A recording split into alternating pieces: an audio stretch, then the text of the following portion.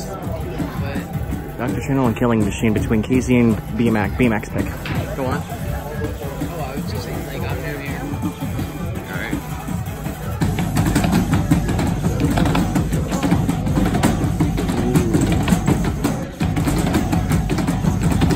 I didn't think Brian was gonna look at this one. Because like this one you technically have to sort of study as well.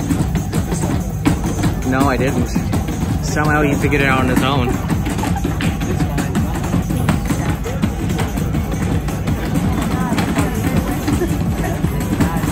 The thing is, like, Kasey's FA is good as well, so like Brian has to find a way to break him. It's kind of like So like they can't, like Brian couldn't have just picked a nine. yeah. He doesn't know the pack. Oh. Wait, what? That's You the thing. This pack is like very heavily practice based. So like if you don't know it, you know like Awesome. a, a huge Uh, disadvantage. Are you kidding? I was voting on him to win. He doesn't even know the pack. yeah. His bravery shows. Almost said that. Yeah.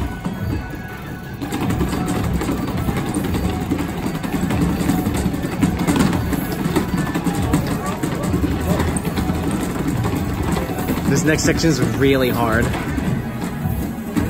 Song or the next song? This song, this song. Okay.